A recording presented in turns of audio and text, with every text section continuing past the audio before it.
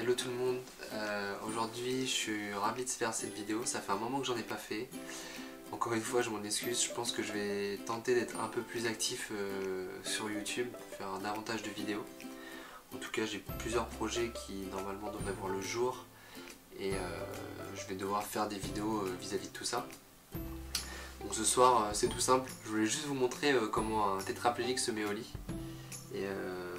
Pas forcément donner mes petites astuces, mais c'est plus pour vous montrer un peu l'envers du décor, l'envers de Instagram, vous montrer un peu euh, voilà, mon degré d'autonomie, afin que vous puissiez un petit peu visualiser mon quotidien. Donc euh, normalement je crois que j'ai 12 minutes sur ma carte mémoire. Donc euh, je suis en train de voir que ça fait une minute que je suis en train d'enregistrer. Donc il va falloir que je me bouge les fesses si je veux finir à temps. Alors là, je pense pas que vous le verrez. Je suis en train de retirer mes chaussures. Donc, c'est tout simple. Je retire les lacets. Donc l'avantage, c'est que j'ai récupéré un petit peu la pince euh, vis-à-vis de ma tétraplégie. Et il y a un effet qu'on appelle la ténodèse. Euh, ça, pareil, peut-être que j'en parlerai dans une autre vidéo. Je vais pas détailler là, parce que j'ai pas le temps.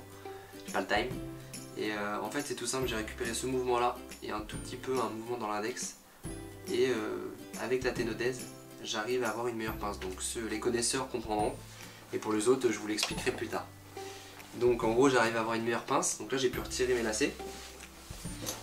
Ensuite, je peux pas vous le montrer là, mais en gros, je me sers de mon cale-pied, enfin mon repose-pied sur mon fauteuil pour euh, m'en servir comme, euh, comme un déchausse-pied. Je sais même pas si on dit ça comme ça d'ailleurs. Peut-être que je retire ce lacet là. Ça serait à mon avis plus facile. Hop là. Donc je, vais un petit peu commenter la vidéo. Je vais pas la mettre en vitesse accélérée pour que vous puissiez vraiment vous rendre compte. Donc là, j'ai viré la deuxième chaussure.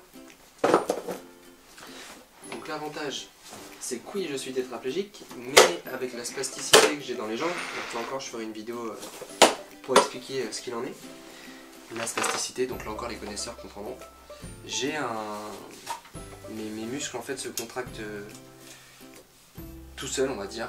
Je détaillerai plus tard dans une autre vidéo. Et on va dire que mes transferts sont beaucoup plus faciles, comme vous pourrez le constater.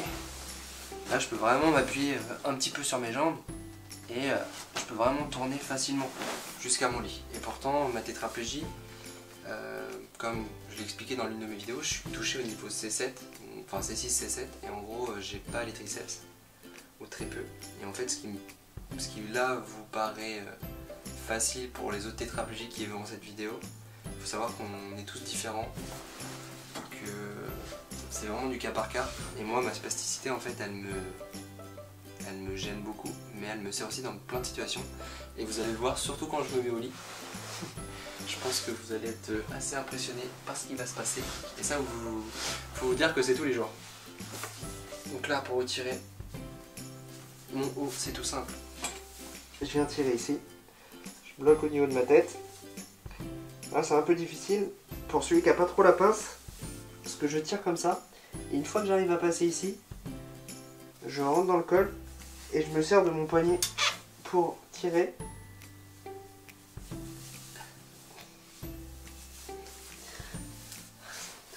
Je sais pas si on entendra. Hop là je retire mon pull comme ça. Comme ça. Bon, je voulais pas spécialement montrer mon corps quand je me couche.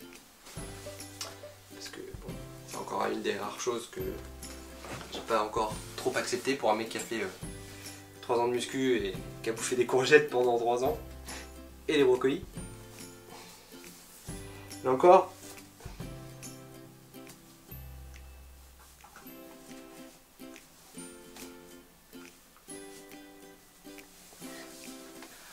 j'ai encore un petit peu mal avec mon nouveau corps. Esthétiquement, on va dire. Ça nous fait déjà 5 minutes. Donc en général je vais un peu plus vite parce que je suis pas là à commenter tout seul ma life quand je me couche. Et donc là vous allez voir ce que je fais, c'est que pour me mettre dans le lit, vous voyez je mets un peu de mes épaules là, je mets ma main en dessous, sous mon genou, et ce que je vais faire c'est que je vais me pencher, tirer ma jambe avec la force du biceps. Et je vais me mettre dans lit. Et vous allez voir que la jambe gauche, euh, je pense que ça va le faire.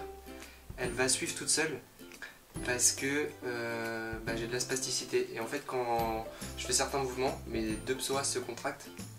Et en fait, j'ai mes muscles, enfin, mes muscles se contractent et mes psoas, j'arrive pas à parler, je m'en excuse, je vais la refaire. 1, 2, 3.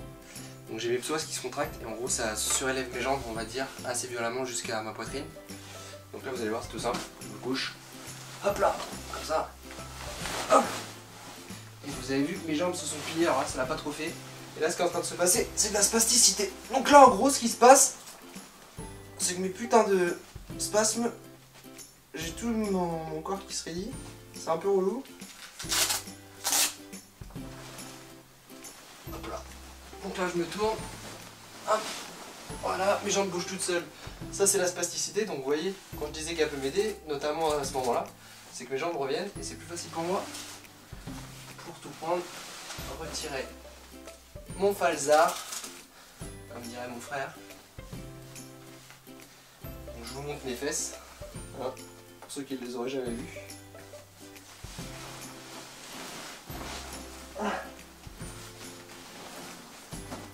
Comment je retire mon pantalon. Alors j'ai fait une connerie. C'est normal, je fais pas comme ça. Là, ça va être un peu plus dur.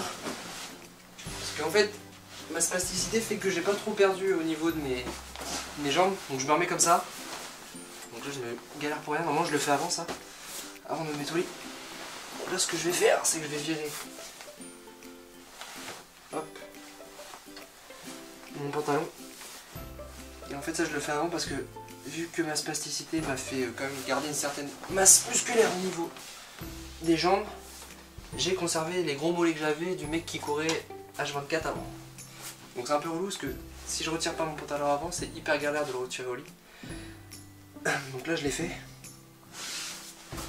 Donc là je vais réitérer l'opération. Je vais réitérer l'opération, autant pour moi. Hop là. Hop, donc là j'ai ma jambe gauche qui se contracte. Cette petite bitch. Pardon pour les parents qui regarderont cette vidéo.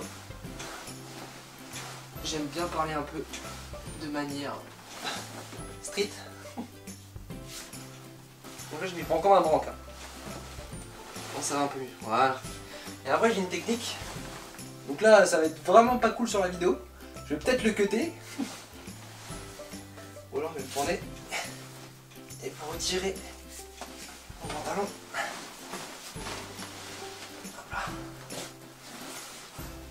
Voilà.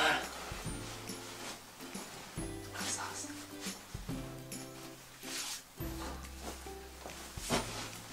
Alors je suis désolé, je me prends comme un manche. Normalement je galère moins que ça. C'est pas toujours une partie de plaisir évidemment. Voilà, normalement je me mets comme ça.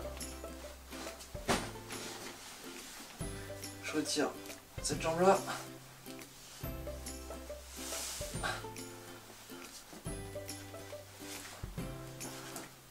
L'autre arrive. L'autre elle est sortie. Je vais pouvoir prendre la deuxième jambe. Pincer. Alors évidemment faut pas mettre des trucs trop slim. Sinon tu galères. Hop là. Là j'ai tiré mon Là, j'ai retiré mon pantalon. Le fous. En attendant. Voilà. Je vais m'en mettre là juste pour la fin de la vidéo. Ah. Ah. Salut les boys et les girls. Donc euh, voilà pour finir euh, cette vidéo en beauté sur cette euh, pose euh, digne des plus grands mannequins. J'avoue qu'on est vraiment pas mal. Euh, voilà, je voulais juste vous montrer un petit peu euh, mon quotidien, comment je me couche. Et euh, voilà, donc euh, attendez-vous à ce qu'il y ait des prochaines vidéos qui sortent, notamment sur un truc que je parle tout le temps et dont j'ai jamais fait la vidéo. C'est les troubles associés à la paralysie. Donc voilà, donc je vous ferai une vidéo très certainement dans les semaines à venir vis-à-vis de ça. Je vous remercie d'avoir regardé la vidéo. Petit truc classique des youtubeurs en devenir. Likez, partagez la vidéo, ça fait toujours plaisir. Donc tous les gens qui vont partager évidemment mon histoire, ça va me donner du poids et on peut espérer que tous ensemble on puisse faire des choses. j'ai pas la prétention d'être mieux qu'un autre. Après, euh, j'ai envie de m'investir dans cette cause et c'est notamment vis-à-vis de tous les messages que je reçois au quotidien. Ça me pousse à aller de l'avant et à m'investir davantage. Et si j'arrive à aider des personnes dans ma situation en montrant euh, mon quotidien et montrant ce qu'il est possible de, de, faire et que la vie continue, bah, j'en serai hyper satisfait. Donc je vous laisse sur ces belles images et euh, je vous dis à très bientôt. C'était El Marticino de la chaîne Step by Will. Et je vous dis ciao ciao, à bientôt. Salut